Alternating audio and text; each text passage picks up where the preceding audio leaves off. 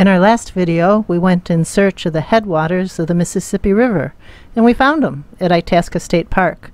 It was really crowded the afternoon we arrived when we went to see everything, but then the next morning we went, and there wasn't anybody there.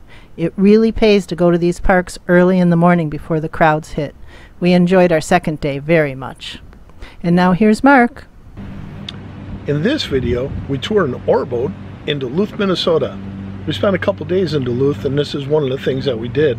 Uh, there'll be more videos coming of our time in Duluth. Uh, enjoy.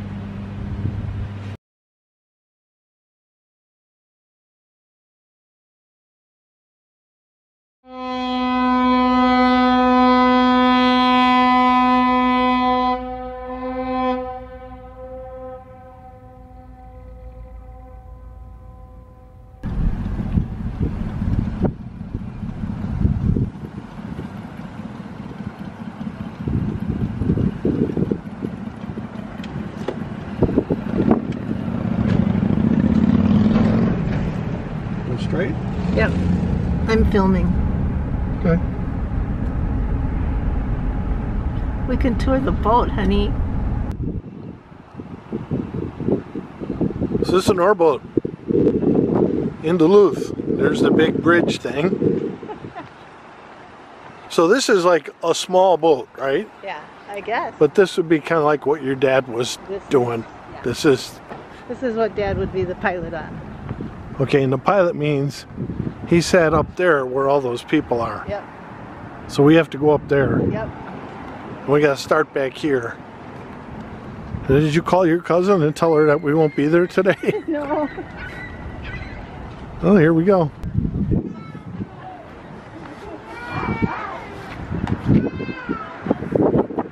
So we bought tickets. Now we gotta wait 40 minutes. We gotta wait 40 minutes and then she's gonna call us.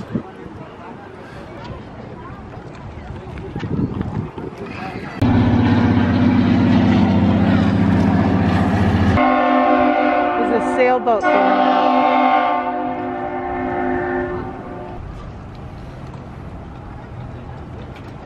Some nice boats, huh?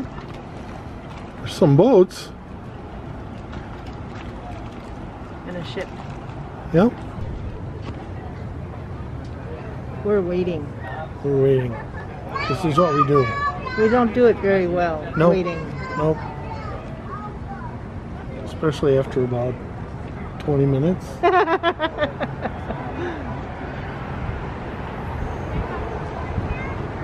So, we're waiting.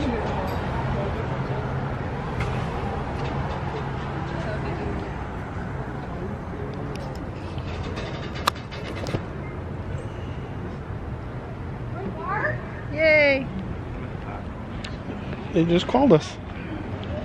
Uh, so, a little bit of history here. It was built in 1938.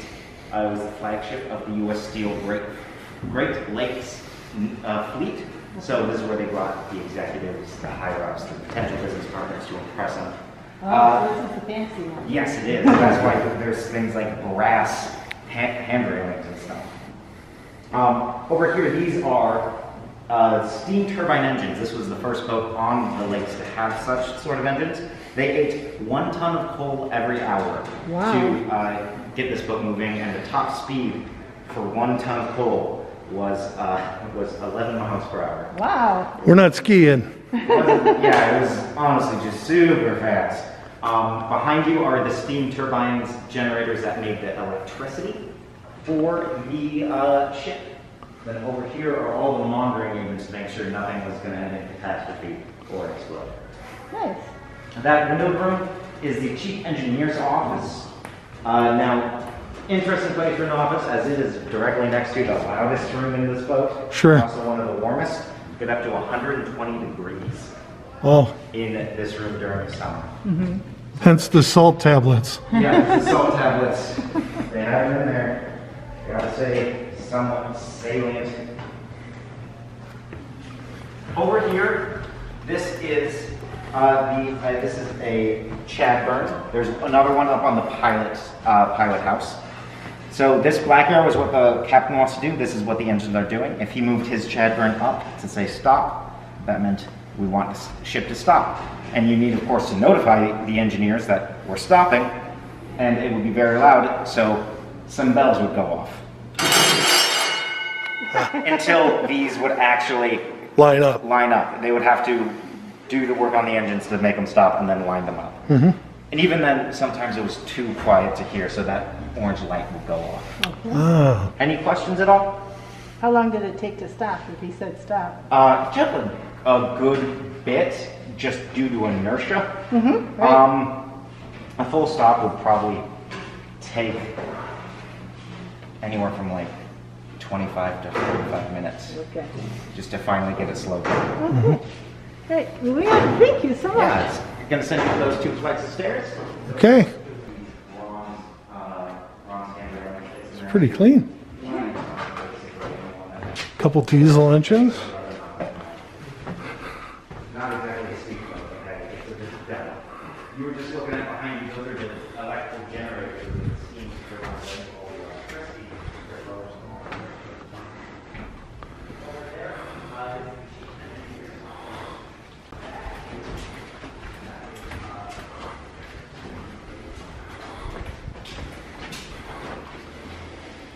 Oh.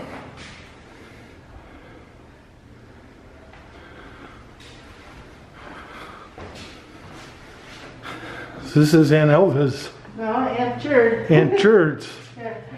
spot. Says four, four crew members worked here. Big oven, flat top, food.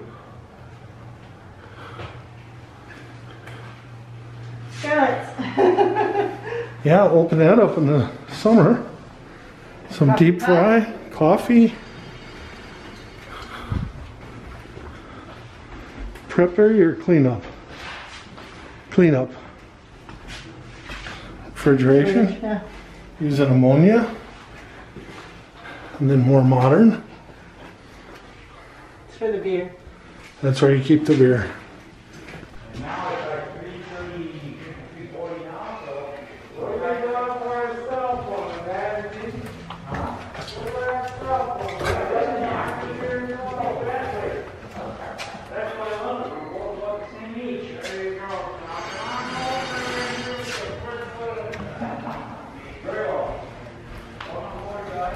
Another breezeway.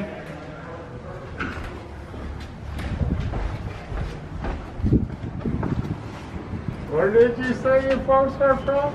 Um, we're from Orlando. Orlando, Florida. Yes, sir. Yeah. Oh, But my, my whole, my dad's family's from here, from Duluth. I think that just shut down. So where would they put these hatch covers when they took them off? Between the hatches. Oh, okay, I can see it. Yep, just right over. He's the first maker of the one-piece hatches. Each one weighs five and a half tons. Wow, that's some rigging. 18 hatches, three cargo holds, and she carried 14,000 tons. Wow. You No. all these covers off in less than an hour. Now, my father-in-law said they were running empty one time. They had some girls on the boat from somewhere. Yeah. They played baseball down here. Yeah, we used In the to, empty, yeah, uh, we used holds. to do that when my dad was captain, and we went down there and played ball. Yeah. Yeah, when you must have been a boat with guests, so the guests they were pretty pampered. They did what they Oh, wanted. yeah. Yeah. Yeah, they weren't working. It's Thanks, cool. guys. Thank you. Thank you. Okay. Your next step, you're going all the way down. Yep.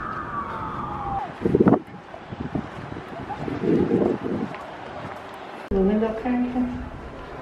Oh, nice.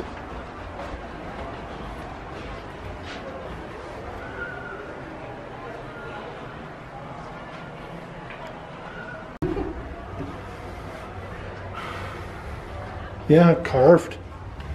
And then you'd have a galley. Would it be the same chef? No.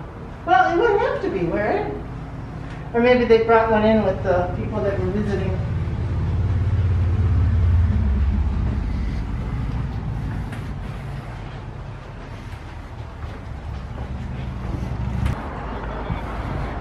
So that was it. There must be crew quarters here then, right?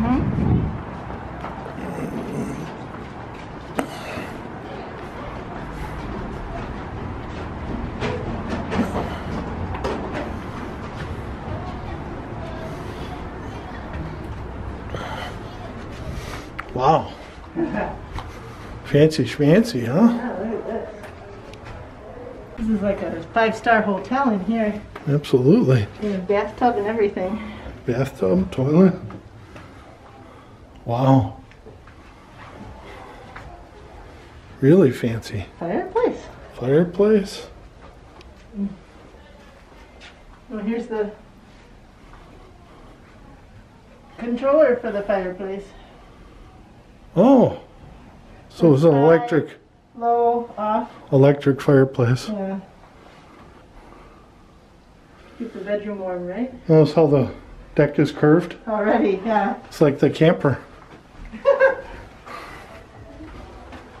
and a closet. Stairwell up. Another room on the other side. Same thing. Look at this beautiful woodwork. I think these balustrades exceed four inches. We sure do. Wow, they really had a lot of guest rooms. U.S. steel, honey.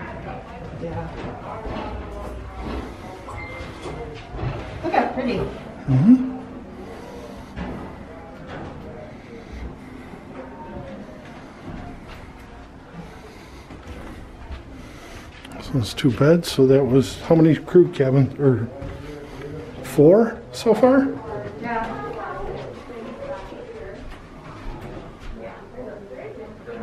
There's a covered patio.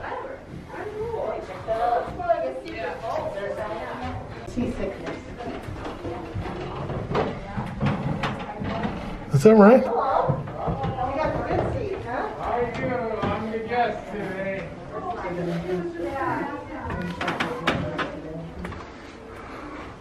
Cheryl's long-winded up there. She talks too much.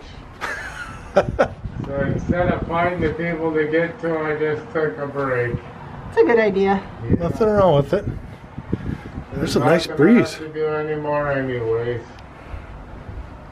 The day's almost done for you, right? Yeah. Yeah, we get we get out here usually a little after five. We used to be open to six, and for a while in the in the summer, in the promised summer, we'd be open till eight. Wow. Oh. So those were long days. The telephone that would go where? That was to call the passenger porter, just like room service in the hotel. You wanted something, you told the porter what you wanted, he'd come up with it. So you had a guy. Yeah, you had your own cook and your own porter for the guests. Wow. So they had two guys just for the guests. Nice. So the cook for that cook for the guest did not wasn't the same cook for the crew. No, that was a separate cook. And the guests pretty much could eat what they want. They would tell the cook what they wanted pretty much. Yeah, and you within limits, right? Right, right. Yeah. the moldy. I think we sold a few of these. You guys are famous. Yeah? Who's our Thank famous? you. You guys. Ooh. Yeah. We're gonna put you in. National? We're gonna put you on YouTube. Oh, right. Ah, nobody can tell what we look like, really. Right. That's why you got. That's why I don't mind doing it. Yeah. Not my first. Have you looked at any of the, the other years? Yeah. I like the lamp. Look at what the Great Lakes. Yeah. Can you name the Great Lakes? I said, well, yeah. Come on. You don't have to go. I gave Tom another break. In the, uh, He should be all good. in the engine Did room? you ask Ryan? He's in the dining room. Oh, the dining room. I went to the dining room. I'll do that. Probably good. I just was up here.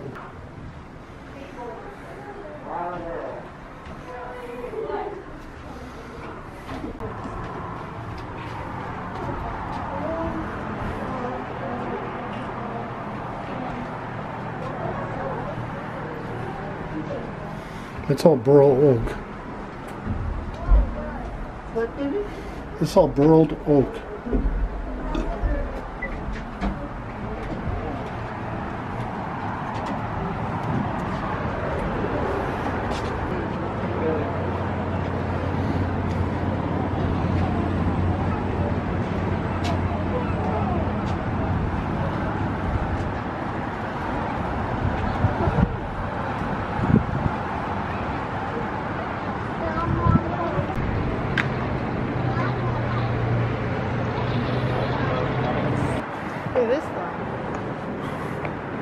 Do a selfie. Do a selfie. Take a picture selfie.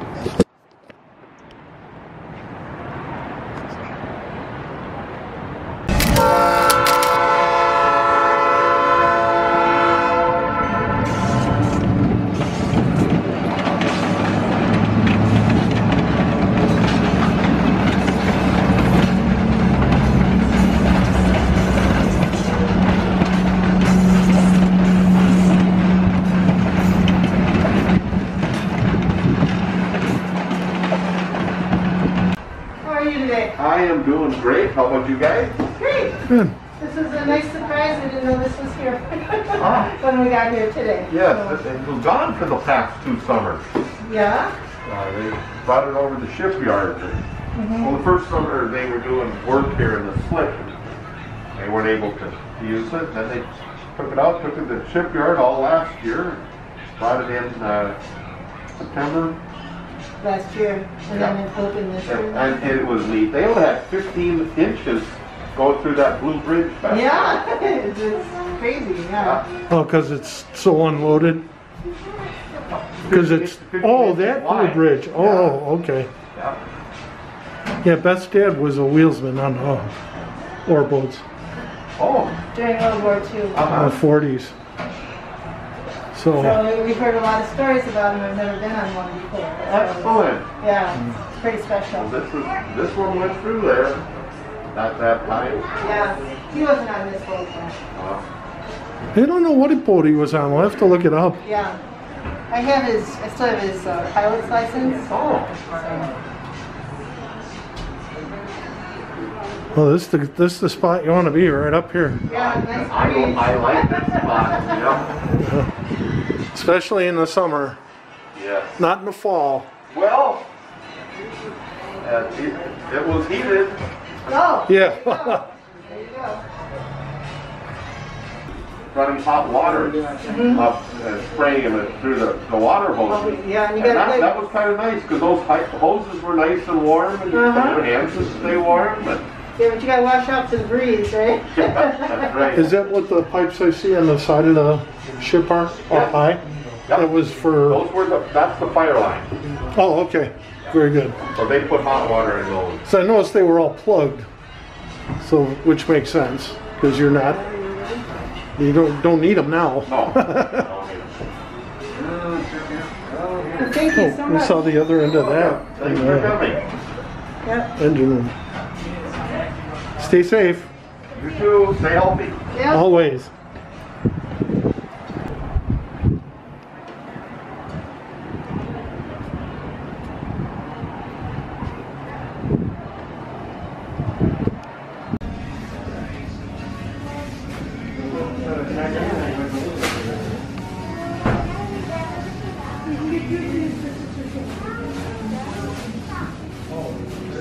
What'd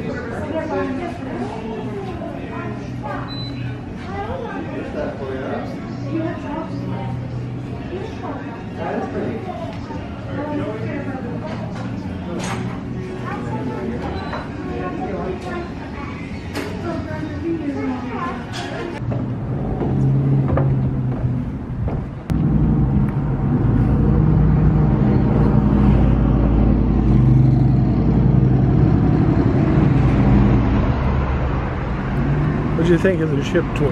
That was great. Much better than a battleship. Well, yeah, more, more, um, uh, relatable. Yeah. And it's not, I mean, you're not going down 10 decks and up 8 and over 6 and like our usual battleship tours. Right, right. So it was pretty, pretty cool.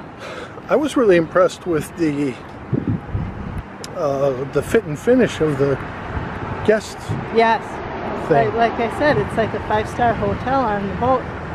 But, you know, the, the rich people that ran these companies, that was their... That's But where were you going? You're going from Duluth to where? Anywhere you want in the Great Lakes. Well, the ship. You didn't just take the ship out for a ride. No, but the ship went. Yeah, but where did it go? Between where and where mostly? Um, some of them went as far as down to Chicago, Okay, the steel mills in Chicago. okay. And then others went up, you know, through the Soo Locks and out east Mm-hmm. to Pennsylvania even, you know, not actual Pennsylvania, but to the East Coast, Right. wherever the steel mills were. So you could go somewhere. Yeah.